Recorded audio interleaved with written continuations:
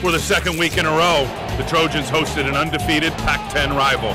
Number 15 ranked Arizona State was led by record setting quarterback Andrew Walter. The Arizona State game was a, a game that brought a challenge in itself. Uh, I guess the media ch challenges you to, you know, can you come back after a big win and, and, and play well?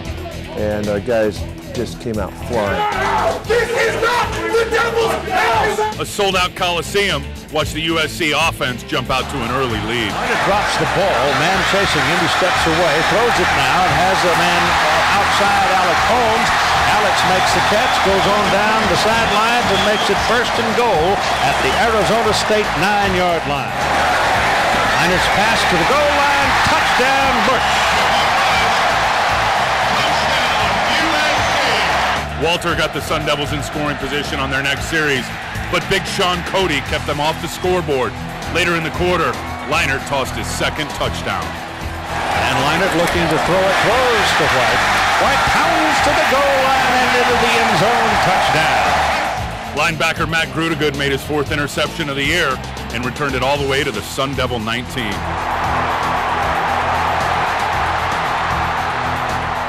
Leinart looked for his favorite red zone target. Leinart's pass to the corner, touchdown, Dwayne Jarrett. We saw what he could do in fall camp against a great defense, and we knew it was just a matter of just gaining that confidence. And really, since the Cal game, he just took off. Up 28 to seven late in the half, the Trojan offensive machine didn't let up. Oh, coming around, Bush is going to throw it. He's got a man wide open, Jarrett. It's now a foot race to the corner of the end zone. Touchdown. Then the Sun Devils made a costly mistake. They punted to Reggie Bush. Makes the catch. That man's right in his face. He made the catch. Got away from another one. Got away from another one. Getting a little help now on the blocking. Look out. Look out. One man. Two men. Stepped out of bounds. Stepped out of bounds at the 34-yard line. You know, I've been saying I think he's the best player in college football. Most versatile, does the most. Don't stop the highlight reel. And Leinart had time to throw his fourth TD pass. Leinart looking deep. Got his man. Touchdown.